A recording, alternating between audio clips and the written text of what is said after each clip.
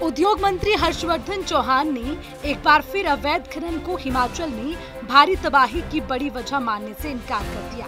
उन्होंने कहा कि मानसून में 30 प्रतिशत बारिश की अप्रत्याशित वृद्धि और नदी नालों पर तेज़ी से उभरती बस्तियाँ इसकी एक बड़ी वजह है।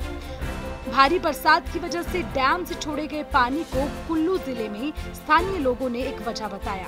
यानी अपनी ही सरकार ने लोक निर्माण मंत्री विक्रमादित्य के अवैध खनन के उठाए गए सवालों को उन्होंने एक बार फिर नकारा है। ये अलग बात है कि विक्रमादित्य सिंह अभी भी नदियों में अवैध खनन को वजह बताने के अपने बयान पर अड़िग खड़े दिखाई दे रहे हैं। हम तो ये बात को पहले से कह रहे हैं क्योंकि हमको जो लीगल हर्डल्स है कॉम्प्लिकेशन है, जो कानून है, विशेष करके फॉरेस्ट कंजर्वेशन एक्ट है, वो सबसे बड़ा वादा है।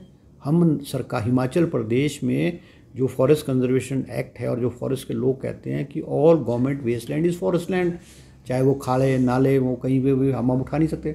अभी सैंज के जो सैंज क्षेत्र है आज मैं किसी अखबार में पढ़ रहा था, सैंज क्षेत्र के लोगों ने कहा कि जो एनएचपीसी ने पानी छोड़ा, उससे जो है वो उनके क्षेत्रों में ज़्यादा पानी आने की वजह से मार पड़ेगा उनको नुकसान हुआ है।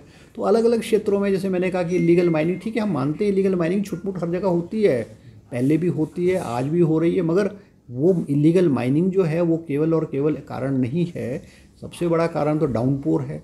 बारिश की जो है थ्री, जुलाई महीने में और कोई थ्री हंड्रेड परसेंट जो बारिश ज़्यादा हुई है उद्योग मंत्री हर्षवर्धन चौहान ने इस बात से भी इनकार कर दिया कि नदियों के पास बने रिहायशी और व्यावसायिक बस्तियों पर तुरंत सरकार कोई चाबुक चलाने की तैयारी में है। उन्होंने कहा कि कैबिनेट में तमाम मसलों पर चर्चा करके फैसला लिया जाएगा। जो रिवर, दरिया, नाले, खाले हैं, उसके किनारे लोगों ने अपने घर बना लिए हैं, घर बनाए।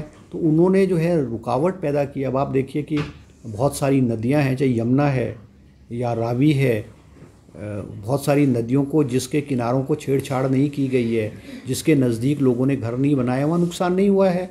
और जिन नदियों में विशेष करके, जैसे ब्यास है, ब्यास नदी के किनारे जो कुल्लू, मनाली और मंडी के स्ट्रेच में उसको उसको छेड़ा गया है।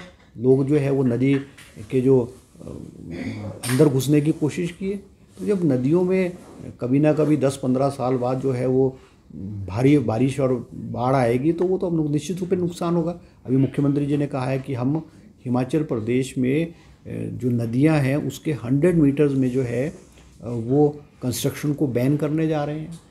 तो अब निश्चित रूप से कैबिनेट जो है, इसमें भी आने वाले समय में फैसला लेगी। हर्षवर्धन चौहान ने कहा कि केंद्रीय मंत्री नितिन गडकरी ने भी माना कि नदियों में रिवर बेड पर बढ़ने वाली सिलट और घुमावदार नदी के मुहाने पर तेज उपनता बहाव त्रासदी की बड़ी वजह है। उन्होंने कहा कि अभी आईआईटी रुड़की और मंडी समेत एक्सपर्ट कमेटी ने दौरा करके अपनी रिपोर्ट सौंपनी है। इसी के साथ सरकार तमाम मुद्दों पर विचार कर कैबिनेट में अगली योजना तैयार करेगी।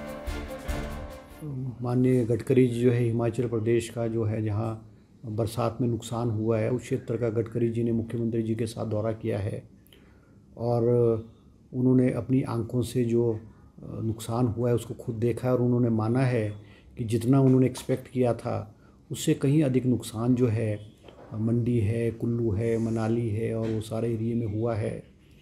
और उन्होंने आश्वासन भी दिया है कि हम जो है वो दिल खोल करके हिमाचल प्रदेश की जो है मदद करेंगे और उन्होंने 400 करोड़ रुपए जो है वो सीआरएफ में भी जो है वो देने के लिए घोषणा की है। हम धन्यवाद करते हैं गडकरी जी का कि इस संकट की घड़ी में जो है गवर्नमेंट ऑफ़ इंडिया ने और गडकरी जी ने जो है वो जो स्थिति उत्पन्न हुई है, उसका जायज़ा भी लिया है, आश्वासन भी दिया है और बहुत सारी चीज़ें उन्होंने खुद देखी है और उन्होंने कुछ सुझाव भी जो हैं वो दिए हैं।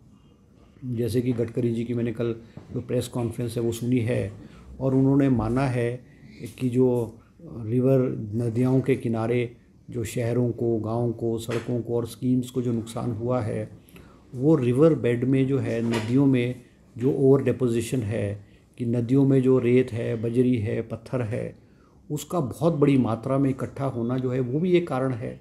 और उन्होंने सजेस्ट किया है कि आईआईटी मंडी और आईआईटी रुड़की की टीम और हमारे जो जोलॉजिकल विभाग की टीम है, वो उसको सर्वे करके और उसको किस तरह से निकाल करके निकाला जाए।